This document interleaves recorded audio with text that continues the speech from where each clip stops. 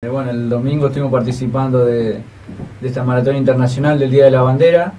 Eh, para los tres era nuestra primera experiencia y bueno, eh, la verdad que muy linda experiencia y sí, hemos podido llegar y con mucho sacrificio. la verdad que es algo muy, muy duro, es un reto físico y mental extraordinario para deportistas amateur como nosotros. O sea, porque estamos hablando de personas como cualquiera que tienen su vida diaria, su trabajo y el entrenamiento es algo extra. No sé, como deportistas amateur eh, representó un sacrificio enorme, pero la verdad que muy satisfactorio. Ustedes venían con un entrenamiento, con Conrado, ¿no es cierto? Muy grande. Eh, sí, sí, la verdad que esto no te largás por largarte nomás. Eh, yo personalmente, cuando ellos me invitaron el año pasado, dije que no quería que me agarre sobre la hora como Tal vez yo tenía una carga más de entrenamiento que ellos arrancaron un poquito más tarde. Déjame rescatar la ayuda del profe, de Milton Martínez, que me dio una mano grande en todo esto.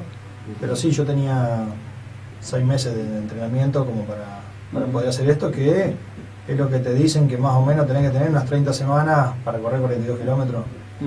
A pesar de eso, bueno, yo quiero felicitarlos a los chicos, la verdad que vos ves llegar la gente en la llegada, cuando vos estás ahí, eh, es emocionante ver personas de cualquier edad, de cualquier edad, de 70, de 60, de 50. Que cumplían el objetivo de llegar. Que llegaban, que llegaban. Eh, y algunos me decían, no solamente llegaban, sino llegaban en tiempos impensados. Sí, nos pasaban a nosotros como en bicicleta, parecía que nosotros íbamos en carreta. Eh, pero bueno, eh, felicitarlos, ellos cumplieron, yo no pude cumplir, estaba con una lesión que intenté hacerlo, bueno, hice media maratón, llegué a los 21 y ahí me desplomé, pero bueno, quedo con saldo, pienso pagar la cuenta. Ahora hay una en octubre en Buenos Aires y pienso ir a, pagar la deuda con eso. Eh, César, ¿y, en cuánto tiempo se hace una maratón de estas características? Digo, porque se dividen, me imagino, entre profesionales que se dedican a esto y gente amateur como, como ustedes.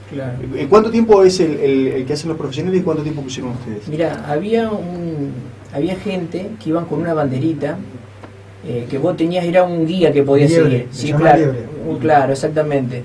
Ellos tienen distintos tiempos, había 3 horas 20, 3 horas 30, 3 horas y media, 4 horas, 4 horas y media. Entonces, si vos estipulabas que estabas entrenado para hacerlo en 4 horas, en 5, seguías ese guía, porque el nerviosismo juega mucho. Entonces vos por ahí aumentás el ritmo. Entonces con eso tenías un guía que ellos llegaban, era impresionante, lo veíamos justo, le ponían el tiempo.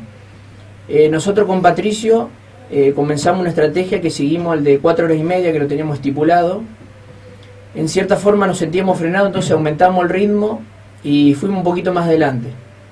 Pero bueno, nos sentimos bien, más o menos en los 35, 36 kilómetros. Empezamos con unos calambres, eh, lo pudimos superar a los 40 nuevos, pero bueno, nos fuimos hidratando bien. Eh, en todos los puestos tomamos un poco de agua y bueno, también nos suplementamos con unos, caramelos, que todo lo que es suplementos vitamínicos. Entonces cada media hora íbamos comiendo ese caramelo, entonces te daba un poquito de energía. Mm. Esas cosas naturales.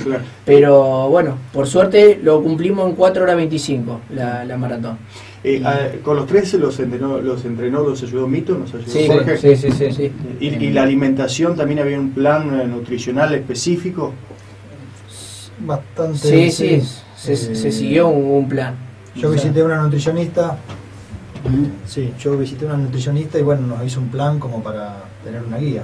Por supuesto que ya de arranque el profe ya te da, evitar fritura, nada raro, digamos, mucho hidrato de carbono, evitar el alcohol, fritura, cigarrillo, bueno, ni hablar.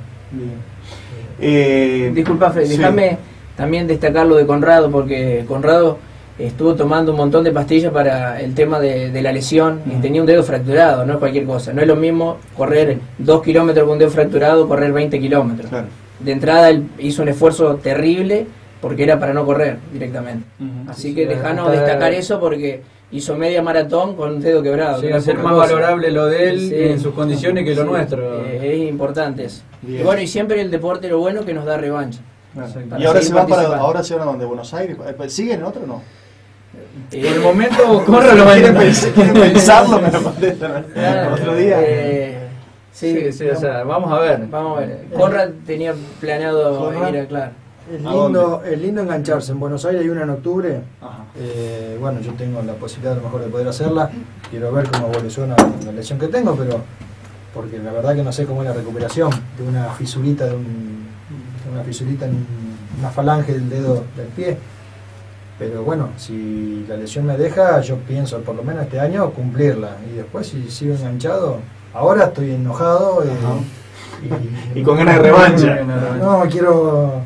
Uno descansa, digamos, estos días, por lo menos hasta el mundial. No pienso hacer más nada, aparte el pie no me deja. Puedo hacer bicicleta, esas cosas, pero eh, uno como está enojado. Se revela un poco al principio. Bueno, hay que pasar un tiempo y después seguramente se retoma con más fuerza. Pero detrás de todo.